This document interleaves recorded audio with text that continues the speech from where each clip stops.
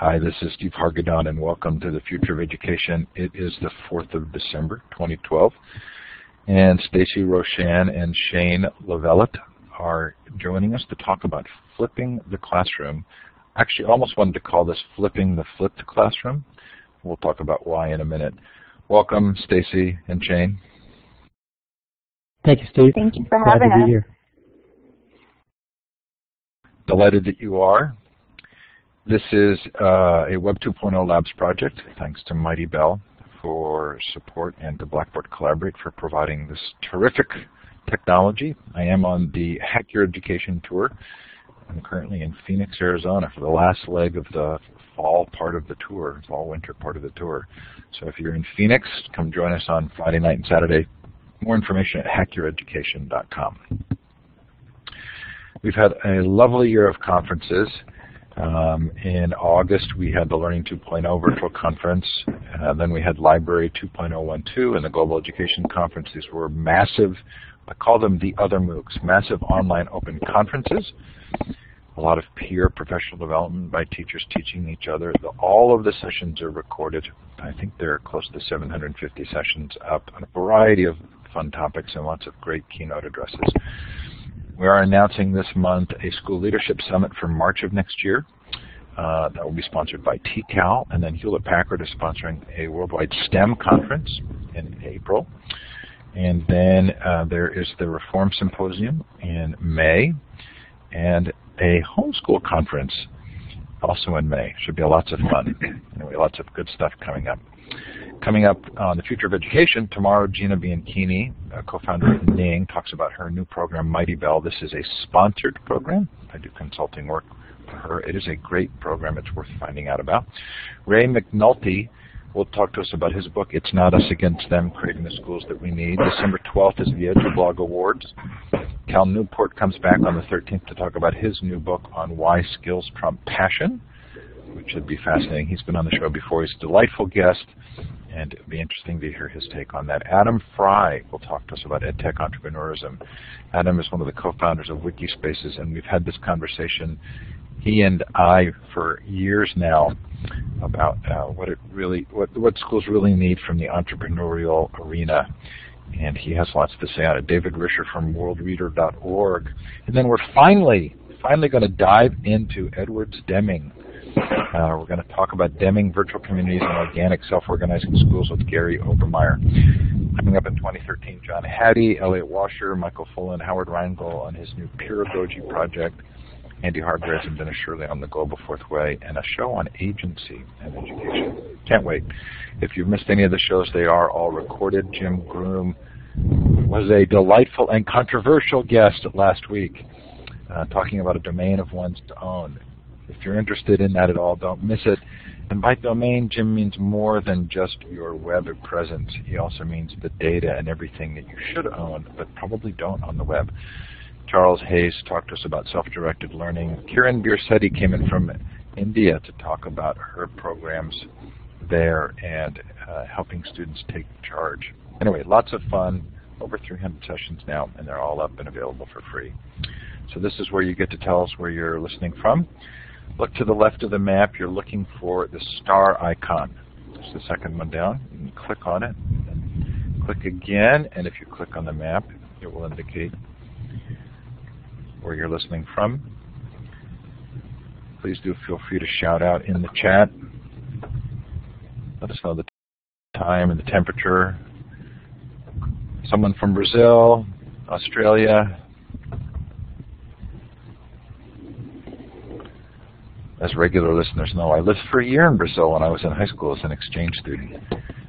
And I always love seeing that dot show up in Brazil.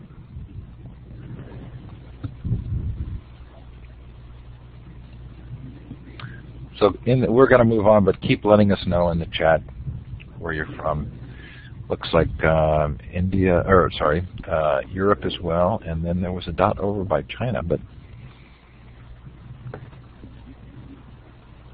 could be Hong Kong, Taiwan. Lovely. Great to have you here, wherever you're participating from, or if you're listening to the recording. We're really glad that you've chosen to join us.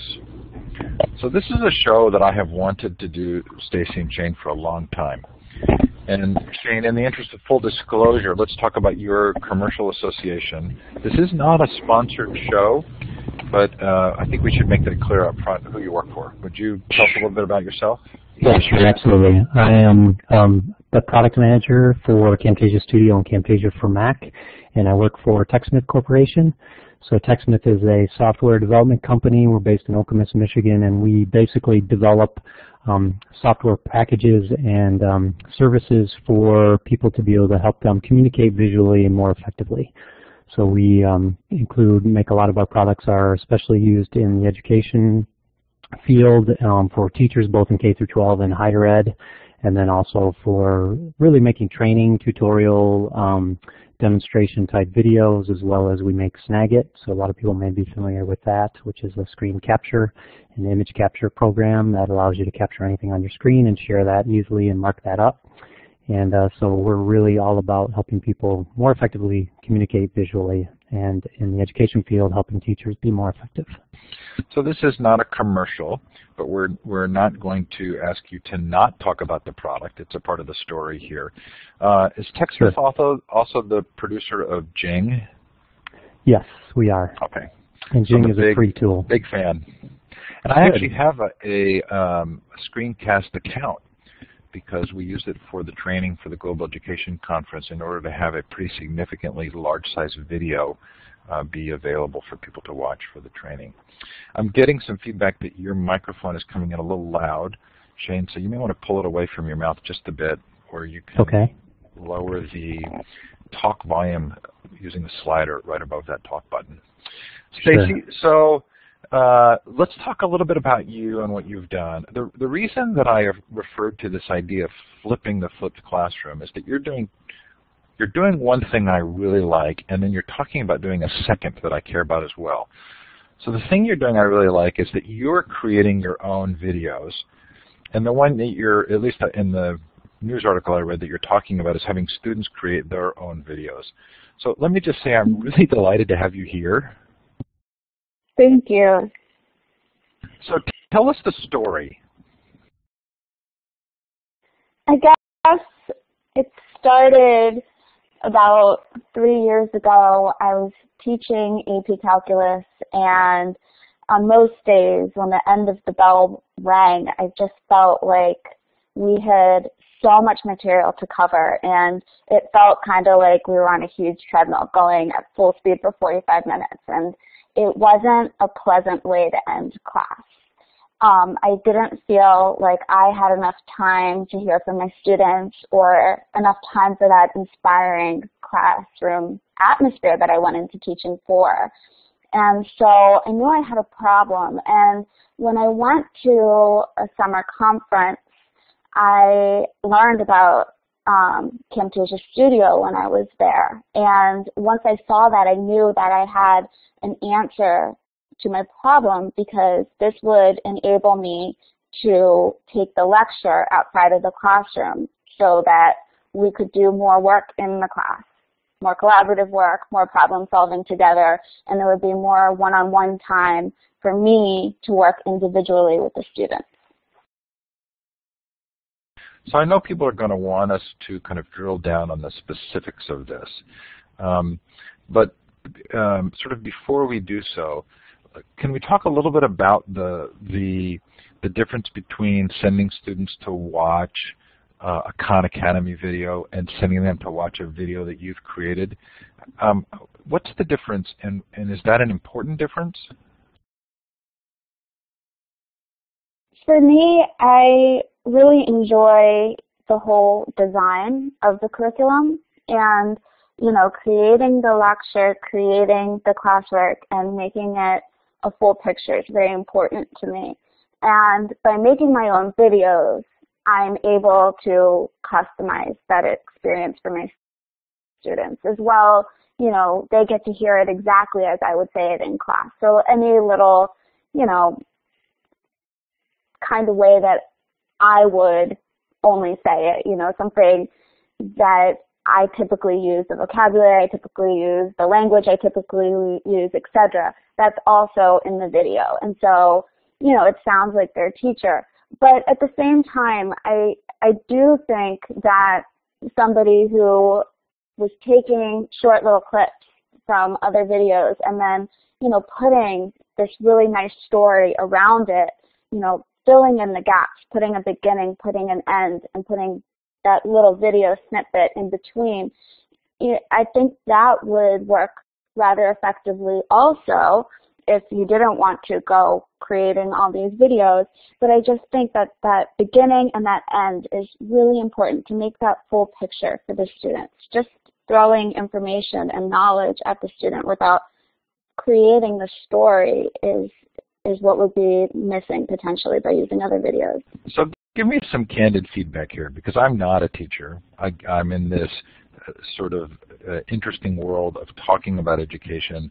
Um, having uh, grown up in a, in a family that was deeply involved in education, being somebody who really cares, and someone who's um, homeschooled my my children and volunteered in classes, you know, an active participant. But with that caveat, one of the things that has concerned me about the flipped classroom conversation is this idea that there's a best lecture or the best teacher.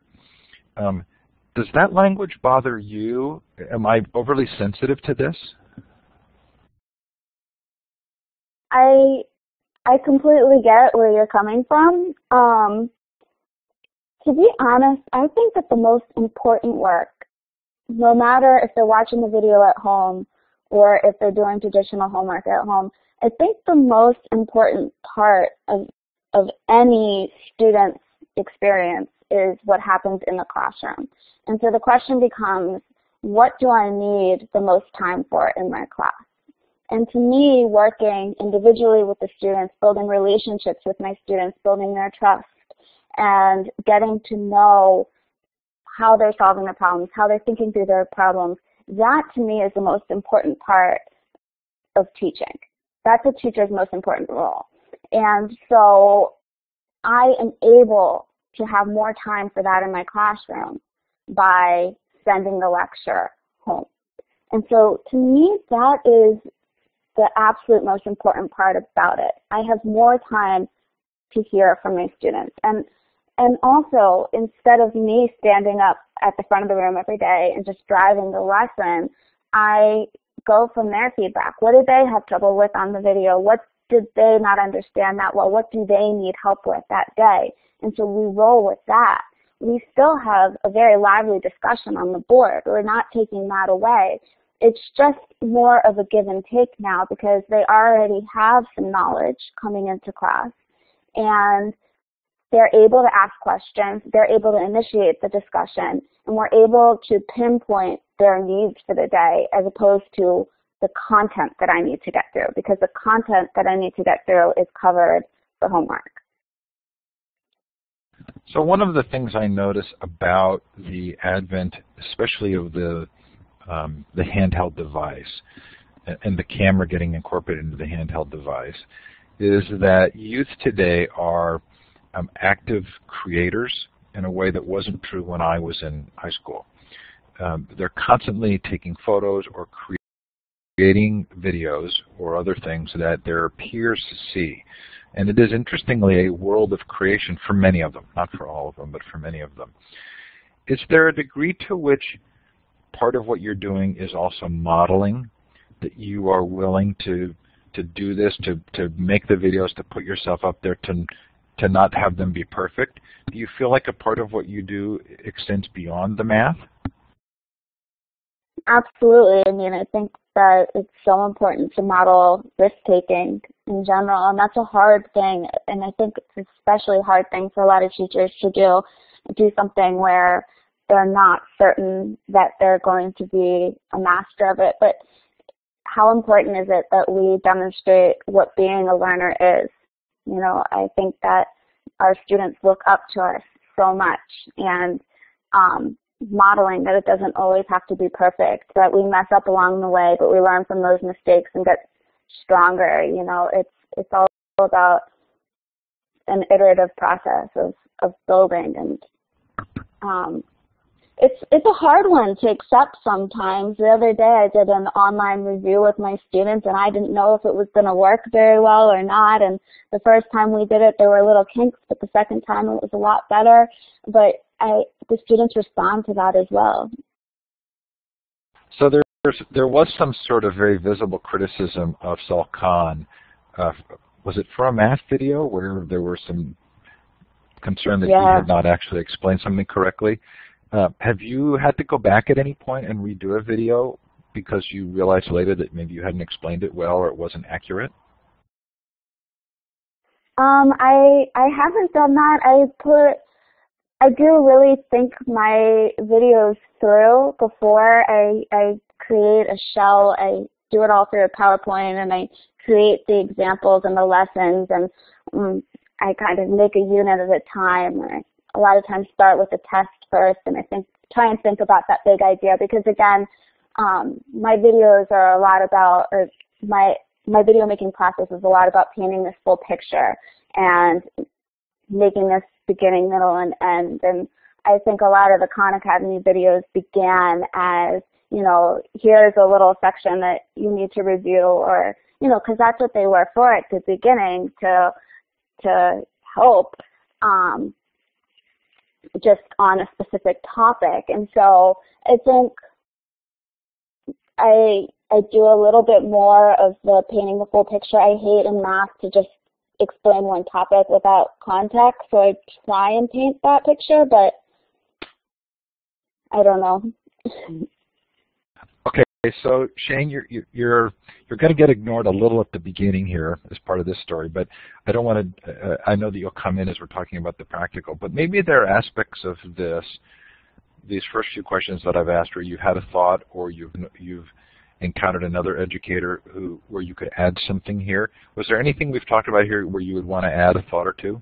Sure. Yeah. Thanks, Steve. I think um, I just wanted to echo a lot of what Stacey said in terms of um, the educators, the other educators that we talk to and hear from a lot, and the fact about you were talking about the personalization and kind of that connection with the teacher, the student with their teacher, who their teacher is and who they're seeing in the classroom, and who is using certain ways and methodologies and, and terms in the class or in, in the videos to help the student learn. And that's true, I think, um, from other educators as well, that that really helps the students engage better with the content when it's coming from you know their teacher they they understand who that is and they have that connection with that teacher and they know who they can go back to and ask for help later too if they don't understand something in the video that's coming from their teacher so we do see a lot of our um, customers and educators that are using um, other resources as well to supplement, like Stacey said, their content, but it really does help to have it come from the teacher who that student has a relationship with already, and they're seeing that teacher every day in the classroom. So when I when I read about this being the a route to personalization, um, I wasn't quite sure that I had the full picture that you've just given me, especially as you both talked about the relationship with the teacher. And Stacey, you said specifically sort of knowing where the class is and what the students might need. Um, but I did think about students being able to watch videos at their own speed or to watch them again. Um, is that would, would we call that a form of personalization? The fact that the material is accessible to them in a way that it previously wasn't? Let's have Stacey answer that if that's okay. Yeah, um, I think I usually call that more that they're customizable to the student. Um, usually, you know, I think about the support and the individualization that I can give in the classroom, but yeah, they're able to customize their instructions in multiple ways. Um, not just are they able to pause the video when they need to, rewind the video and so forth, but they're also able to customize the instruction that happens in the classroom because now they are working on problems and they have the choice every day if they want to work in a group setting, if they want to work by themselves, or if they want to work with just one other person. And on different days, they have different needs. And um, they work at their pace or with their group pace, you know, dependent on what they need. So I think there's a real customization to both the video viewing process, but also what their needs are in the classroom, what questions they need to get answered. Um, a lot of times I'll just do group work with the group that needs help and if they need help then they'll come to that table. Then sometimes we'll do it on the board as a class but you know I'm I'm trying to get at there's a lot of different ways that this is helping them customize. Also I think that it gives them a lot of um, a big sense of independence and resourcefulness because they have all these tools at their fingertips they begin taking ownership for their work. And I always say that that was the, one of the first things that I noticed when I started teaching like this. I was just amazed at how independent they were becoming in their learning. And it wasn't something that I had gone in with the real goal of. It was just, it started happening on its own.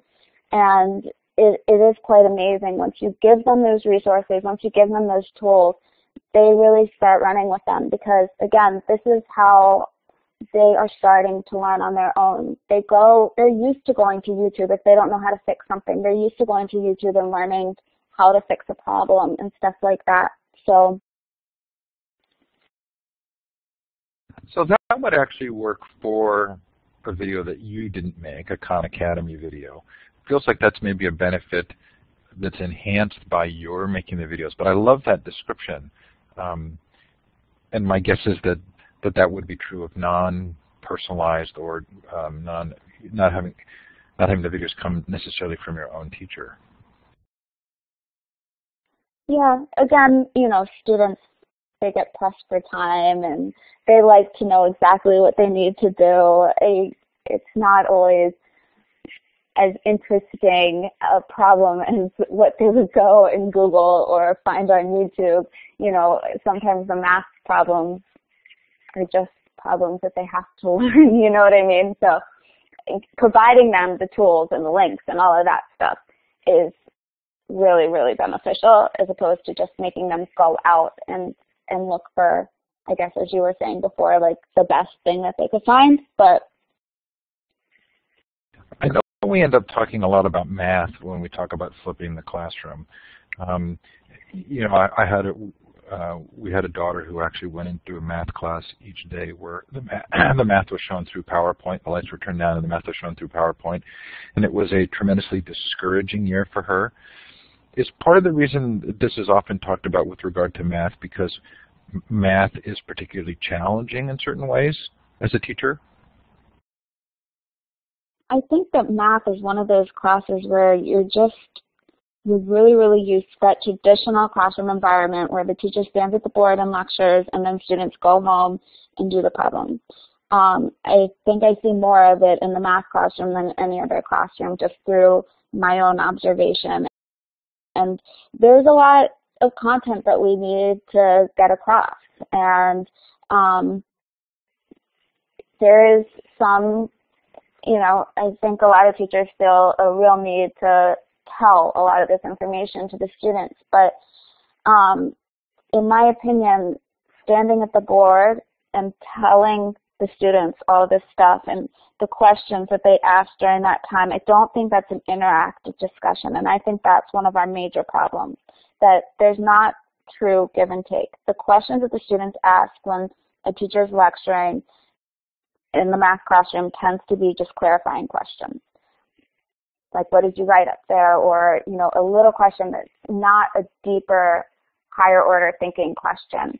I think by sending the lecture home and letting them kind of fumble through the difficult parts and wait till they get to the end and trying to then piece that together, and then coming into the classroom and having a full-on discussion yeah, and for them to see it the second time around, I think that's the really powerful part about it because that's when it starts coming together. That's when the aha moments start happening and we can do that together in the classroom and then I'm there to guide that discussion. And so that's one of the most important parts I think about you know flipping the classroom is that your your role as a teacher changes and it transforms completely from standing up at the board and driving the discussion to being more of a learning coach and facilitating those discussions and listening to the students' ideas and helping guide them to thinking like a mathematician, you know? So I was at uh, a, a workshop this past weekend where one of the participants said that his motto had been ask three before me. So ask three other students before Yeah. you ask the teacher.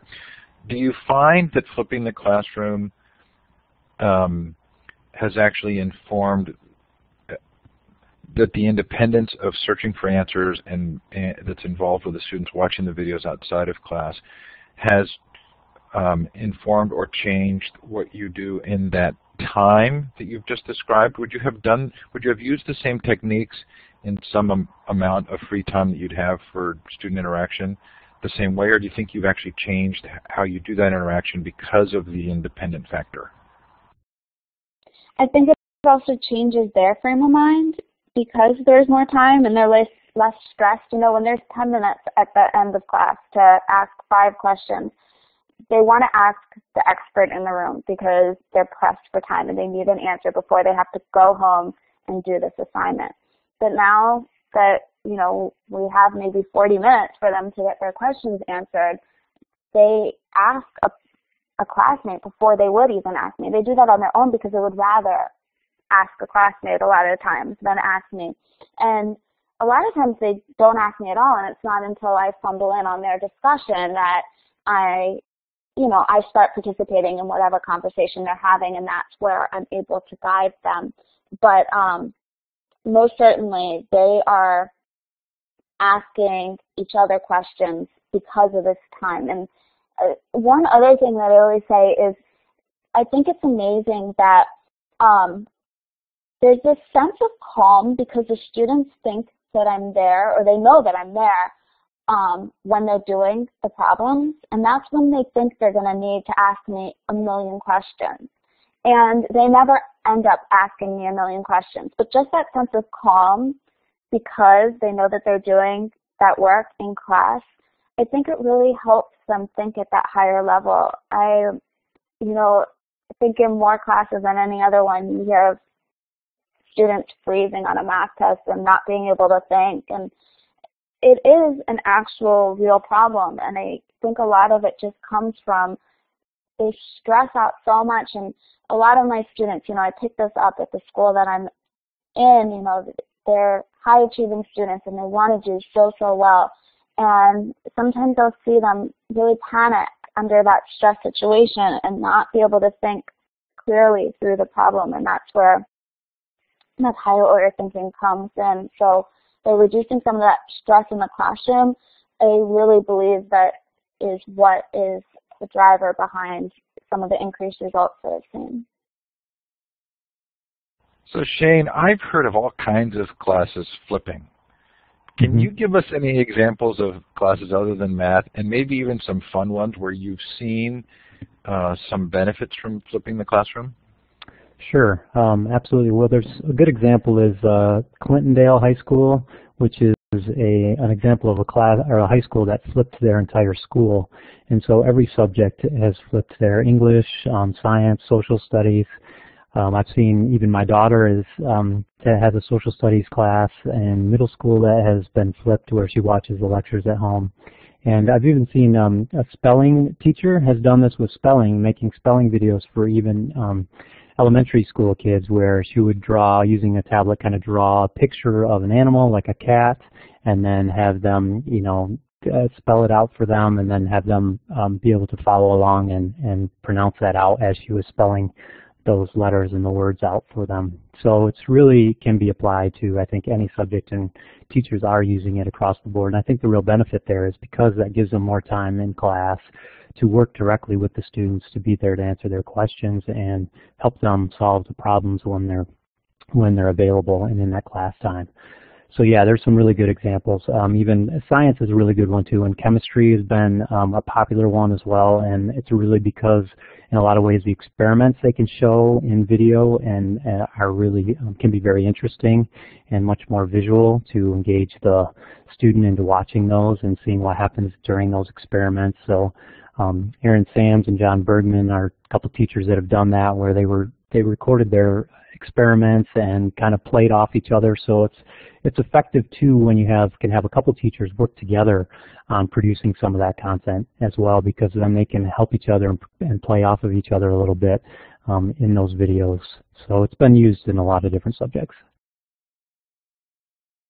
So I want to talk a little bit about how this is actually practically done, and then maybe about some pushback that we hear within the community about flipping the classroom. But before we do so, I want to make sure that we've talked about uh, all of the potential benefits, or as many as we can think of. Two that occurred to me that we haven't discussed. Um, one would be test prep and the ability to go back and review, and, and another would be parent help uh, as a parent, my ability to watch that video would probably significantly increase my ability to help my student. Stacey, are those accurately described as benefits? Yeah, I think especially with the AP Calculus having the video resource going into the AP exam you need to review some of the topics um, very specifically is very helpful. And as far as parents go, um, I haven't seen much of it with the AP Calculus, especially their 11th and 12th graders, but um, I've used some videos in my Algebra 1 class, and now I'm using them in my Algebra 2 class this year. And most certainly, um, parents are using them. And I, I this year had one parent who watched a whole chapter of the videos and then reviewed certain ones with a student who was struggling, and it made a huge difference. Um, and you know, it's a great way to like this father actually sat down with a child and they watched a couple of the videos. There were only two of them that I thought that student really needed to review and they sat down together and they watched that and they went through it and, and so forth. And so that's so wonderful, you know, to give, so directly give a parent a tool to be able to help their child. Steve, one okay, of the things I just great, wanted to, go ahead, Shane. I was just going to say, as a parent of, you know, my daughter um, going through middle school has been, you know, having a, only a couple of her classes have had have used the flip model, so she's had a lot of homework that she's needed to do at home, and often has needed some help during that process. And so, as I've tried to help her, it's been really interesting because the way things are taught now from when I went through school is often very different and they're, they're trying to teach new ways of learning and help the students learn more than just specifically how to solve a problem in the most direct way, but multiple ways to solve problems. And so it becomes real challenging even for me um, to be able to help her, not obviously not even going through that stuff in many, many years, um, but also the fact that it's taught in many ways very differently than it was um, when I was in school. So having the video, when the video is available, makes that much easier for me to understand what, how they're teaching it as well so I can help um, facilitate that learning. So uh, I think, Shane, a couple of times your connection must have slowed down because we got this little chipmunking factor where we hear your voice speed up to catch you up. So if, if we pause oh. before Hello? getting back to you, it's because of that. No, you're sound, good. I think. It's just a delay, and it's typically because of now. Stacey, you can see some red dots next to Shane's microphone, which means his internet connection is low enough. He's probably going to drop off. If you drop off, Shane, just log back on and we'll bump you up to be moderator. Okay, so um, Stacey, would it help to show a video as we start the discussion of how you actually do this? Yeah, sure. So I'm going to take us to the main site, and or the main uh, sort of folder here. And let's make sure that this comes up for everybody. And if you want to tell me which one to click on, I can click on one and we can watch it. Oh, goodness. I don't know. Um, the I'm pretty sure that 4.91 is short, so maybe that would be a good one. I'm not sure. What if we agree we'll just watch 60 seconds and then we'll come back?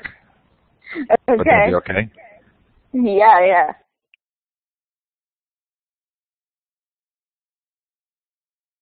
So many of you are likely to have to hit play here, so go ahead and hit play.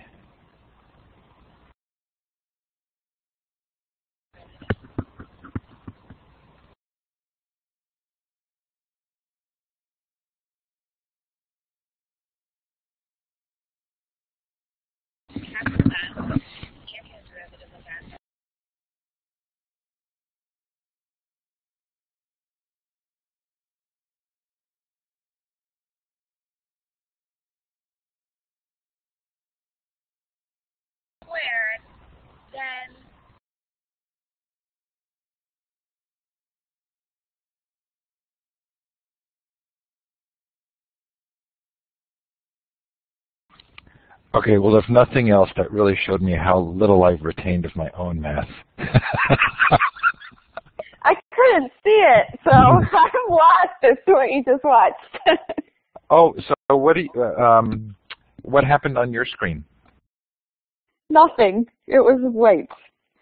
Oh, that's interesting. So the way that I the see Blackboard some Collaborate, others didn't see it. the way Blackboard didn't work Collaborate for works. me so. Oh, really? Worked perfectly for me. Uh, oh, that's too bad. So uh, I wonder why that would be. Typically, the technology here uses the the default browser for the user's computer, and I'm on a Windows machine and saw it. But let's put a link to that. I'm going to put the link into the chat for those who want to go on your own. And, and uh, I, does, I guess it doesn't matter which one you watch, but the link is no, there. yeah, I I think that that one actually was very um like not fancy at all. I can't.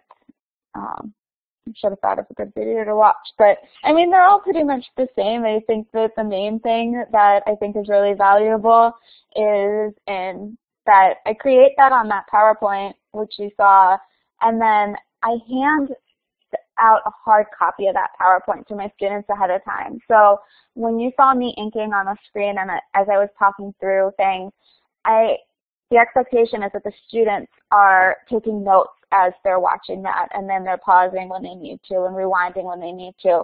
Um, my expectation is a video takes nearly two times the length of whatever the video to watch it full length for the AP Calculus students.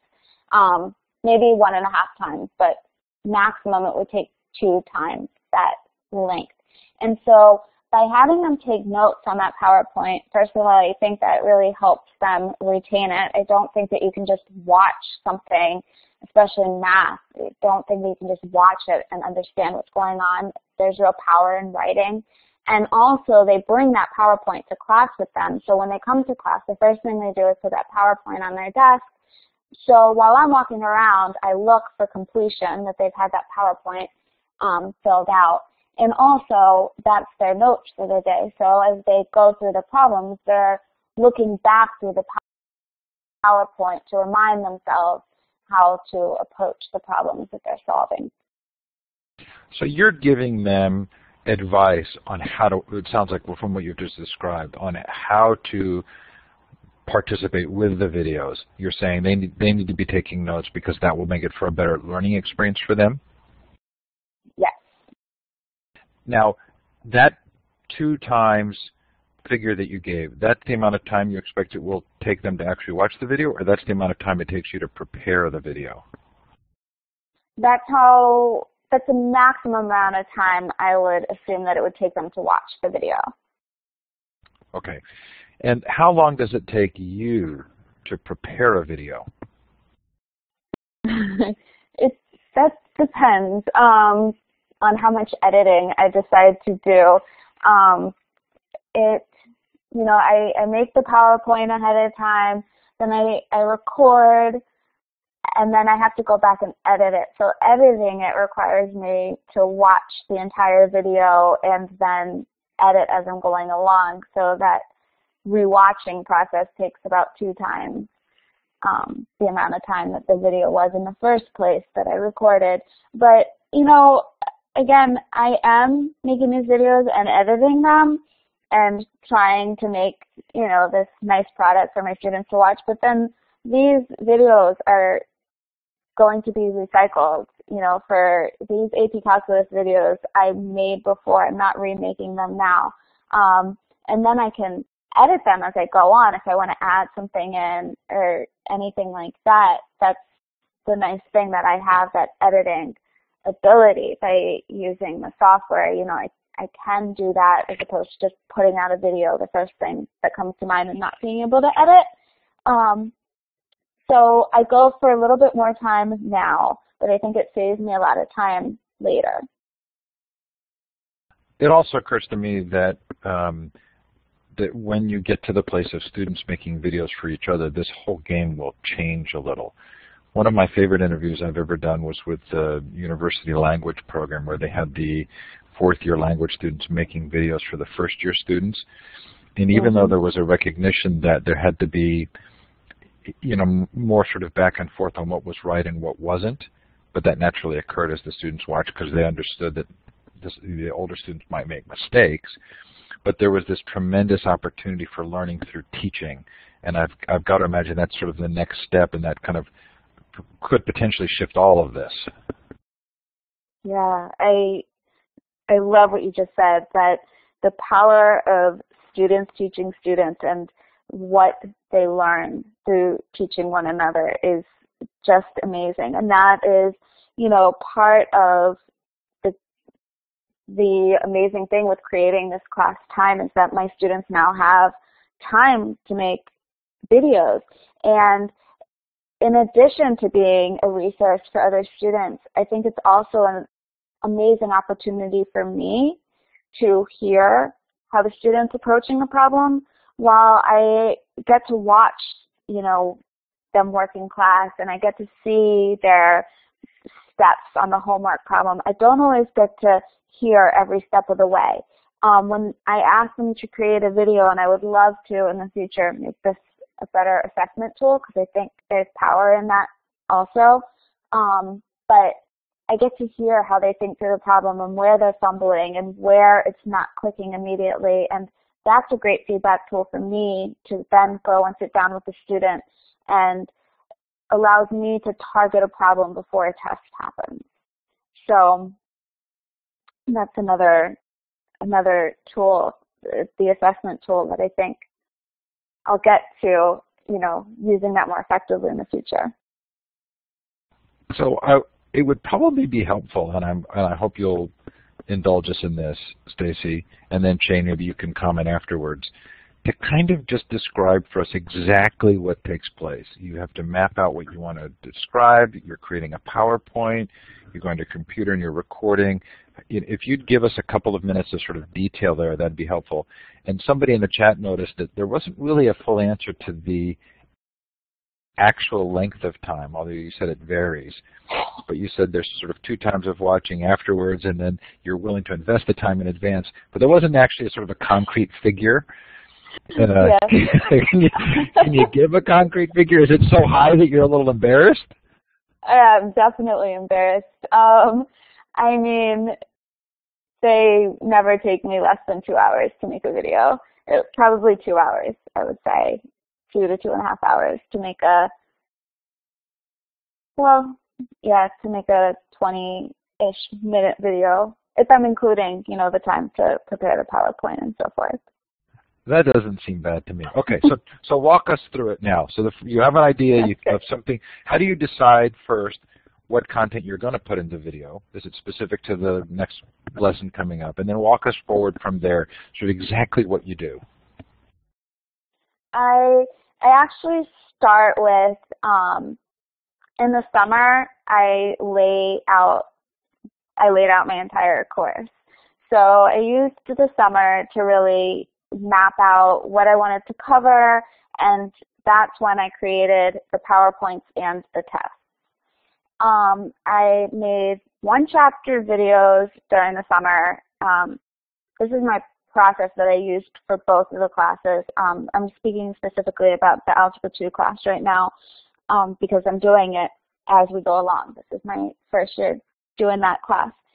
And so I made a, a unit of videos and then I really waited until I was teaching the class to finish the rest of them because I wanted to get the feedback from the students and hear what they liked about them, what they didn't like, and what I needed more time for. So I'm creating the videos. The, my process now is I already have the PowerPoints made.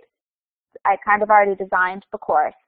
And now I'm just pretty much doing the lecture that I would have done in the classroom and I'm making it through video. The way I do that is I have a tablet PC and I have Camtasia Studio and so I use my PowerPoint and I use the inking capabilities on that with my pen technology, and then I use Camtasia Studio to record.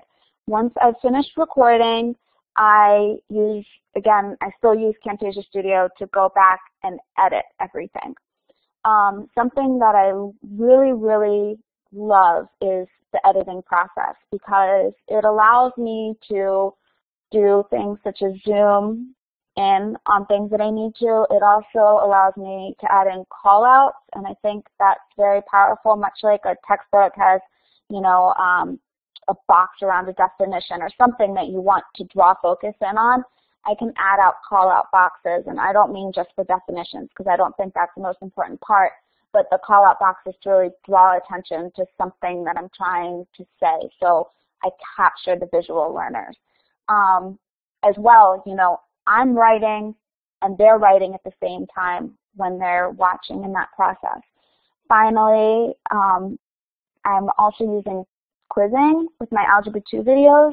So um, you're you're able to use embedded sorry embedded quizzes, and so I can pop in quizzes when I want to ask a quick question, and that's a way for me to interact with my student through the video, and also to gain some feedback before they come to class. So that's kind of my video making process. Okay, this is so fun. And uh, as a courtesy to our guests, we always finish on time, which means we only have about 13 minutes left. Shane, can you add anything to that? Are there other things that you've seen um, educators do that you feel would be worth adding to that description?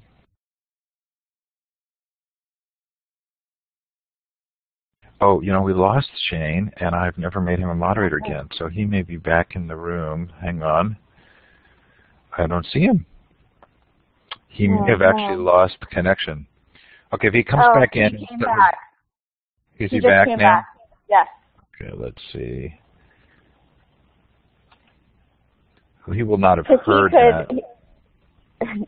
He, he, could talk uh, much more um, about Shane. We were just talking about the call-outs and quizzing. Okay, sorry about that. Shane, actually, I'm gonna, oh well, I'm going to move on, and then we can add at the end.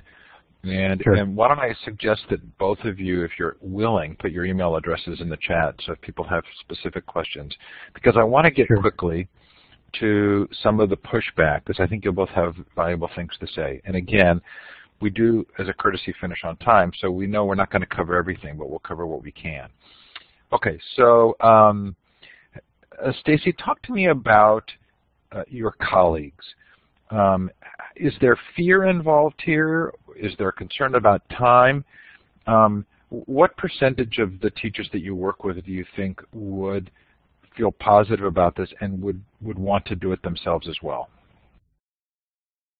Um, I think that I think one thing is that it's important to embrace the way that you teach as, as we want to kind of differentiate for students' needs. I think that there's different teaching styles and there's a lot of great teachers out there. And so, um, you know, I'm just thinking about a couple of math teachers in my department who are awesome at what they do. And I don't know that this style would fit them that well, to be honest. And so, um, it, to me, the most important question to ask, or the question that I ask myself is, what do I need more time for in my classroom? And, you know, what do I need that face-to-face -face time with my students most for? And I didn't feel like I was, had, I didn't feel like I had enough time for that. And so, for me, this was a way of getting that lecture outside of the classroom. You know, there's so many other teachers, like look at look at Dan Myers or something who asks, you know, these questions that really get them asking the questions and stuff like that. And I think he makes time in his class by doing it in a different way. So I'm not, I don't think that there's any one size fits all, but I think that videos can be used in a lot of different ways. They don't have to be used to front load. They can be used at the end, um, depending on your style of teaching. And so um, I think if you put it in terms of, okay, you have to make a video that is a front-loaded video that students watch for homework and then they come into class and they do like problem solving, I think then it's going to be poorly received by anybody and I think it should be because I don't think that is the way it has to happen. I think that the videos are just another tool that we're providing for our students. And when you put it that way, I think that you're making, you know, you're fitting into a lot more teachers' style and allowing them to kind of go with what they're most talented with, you know, and you don't need to make a video every day. Make a couple videos. Make, you know, five of them. Use some other people's videos that you love. Go to TED Ed and look at some of those awesome things that they're putting out. Um, so that's kind of how I feel about that. Stacey, do you feel any awkwardness seeing yourself on video? A lot of people say, I just can't, I can't stand to look at myself. Does that well, ever happen? My face on it. my face is not on it, so they just see my screen. But um, it was so awkward hearing my voice all the time. Like if students were watching it in study hall or they were watching it in the hall, it was so awkward at first, and now I've gotten a little more used to it. what about the Hawthorne argument? Which is sort of any change in education is bound to produce some increased energy and interest for a period of time that will then diminish. Is this a turning point? Is the ability to put video on the web and make it easily accessible more than just a bump because of a change? I think it's just about, you know, being the best teacher you can be and finding a way to be the best support. And to me, this whole process is about being there to support my students, to really make my classroom, to transform the classroom culture to a calmer, more supportive, more inspiring place. And to me, that's what it's all about. And so I, I kind of hate to use the term flipping because now it's like a thing as opposed to just being the best teacher you can be and thinking about how your class time can most effectively be used and then embracing whatever technology or whatever tools in general can help you get there. Stacey, I don't want you to get uh, to feel overly complimented here, but I, uh, I have to tell you, I think that's a really thoughtful and compelling way to describe what you're doing, and I'm really appreciative of that. Um, someone in the chat asked about, isn't this just another form of homework? Called it Homework 2.0. Is that a danger? Um, it doesn't have to be homework. This can happen in the classroom too. I I'm really pressed for time, and that this was my solution. But and when I was doing this in Algebra 1, videos were watched in the classroom so that I had more time to work one-on-one with students on a day that I needed it. And also it provided me a way to watch how they were taking in lecture, and that helped me I had a lot of students with um, some learning support and stuff like that, and I was able to address some of um, the ways that they could improve their study habits. So it doesn't have to be homework. What about students who don't have access to technology? It's a good question. It's uh, and honestly, it's not an issue um, at my school at all.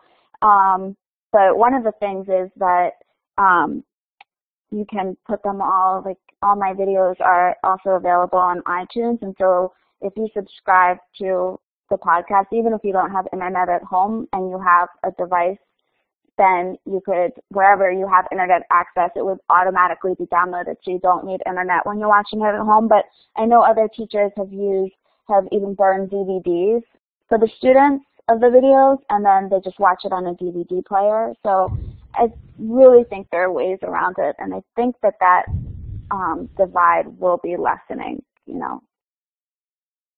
Yeah, Steve, we've seen that with uh, Clintondale, especially as a an at-risk was an at-risk school, and so you know, the students didn't always have access to technology. Well, what they did was make make additional time available in school for them to come in and get access to computers to watch the video content. Um, so they they just provided and worked out ways to provide time outside of class, even in the building and resources in the building to help those students that didn't have access at home to technology to be able to use technology to watch those, that video content. Lovely. Stacey, one of the articles I read mentioned that your mom is also a math teacher. Am I getting that right? Yes. Okay, so have you ever had a conversation with her about sort of this generation of students? It seems like there's this cultural conflict. They're either the dumbest generation or mm-hmm. they are sort of uniquely adapted to the technologies. Uh, with a two-generation math teaching family, can you give us a sense of how you view sort of the moment, this, the, the opportunities of social technology, what your students are like, and is there a way to kind of describe this generation? Hmm. That's a difficult question. Um, I think the I think the biggest thing is just the difference. At least what we talk about is the difference in their attention span and um, what they're used to. I, they're so used to multitasking and having so much stimulation um, all going on at once, they have a harder time just sitting and focusing and listening to a lecture. Um, and so I think that's one of the of the main things that that we talk about. We also talk a lot about you know what skills they need because that's changing too with computers available. They it's more it's very important that we help them become more innovative and these deeper thinkers as opposed to just being able to, you know, drill and multiply numbers and do long division. So the skill set is also changing. So I don't know. Your question has a lot, a lot to it. so Seymour Papert said that if we lived in math land, math was the language. Everybody would learn math just like if you live in France, you learn French, or you live in the United States, you learn English or Spanish. What, what do you think? Is there a math brain? Are there students who have a, a greater facility in learning math, or uh, do we overblow that? And, and is everybody, is this a valuable thing for everybody to be doing? I think that math is a valuable skill in that I think it just develops those logical thinking skills. It's just like, to me, math is just like putting a puzzle together and figuring out how those pieces go together. I do, I do think that it comes easier to some people. I think that I, I know that the way I approach math, I see it very, very visually. And when I talk to other people, that's not the same way that they do problems. And it's my real goal to help my students see math in the way that I do because I don't memorize anything. It just makes sense. And that's the beauty of math to me. So yes, I think it comes more naturally to some students, but I also think there's a lot of power in the way that you learn the basics and the foundations, and that's why I'm a math teacher. And you obviously had some benefit from your mom being a, a math teacher, either yep. genetic or cultural, right? Mm-hmm. Yep. Both my parents are math brains, so yeah, it kind of comes up in conversations around the dinner table. Shane, last comments? I just was going to say, I think what you're talking about, you're going to learn from if you were engulfed in math all the time. But what the flipped model really does, I think, is enable that classroom environment to become much more a a rich environment of that subject for the teacher to help the students, the students to help each other in small groups, but that te the teacher can become more involved in doing that rather than um, you know, just hoping they're soaking everything in that they're saying and then going home and, and knowing how to do it. Stacey, final word? Um, I don't know. Just, you know, I think that everything we've talked about tonight is just what I love most in, you know, being, bringing back the, you know, being that compassionate teacher and having the time to listen to your students and get to their individual needs. And I think that what we've talked about tonight is one way of getting there. Thank you both so much. Shane, the chat is saying you got short shrift tonight. I apologize. But thank you both for coming on. So lovely to hear from both of you. Yeah, thank you very much for having us, Steve. No problem. Thank Don't you. Miss, thank you so much. Thanks, everybody. Don't miss Gina Bianchini tomorrow night and Ray McNulty on Thursday. most appreciate uh, your attendance tonight. Thanks, everybody. Have a great day or night, depending on where you are. Bye now.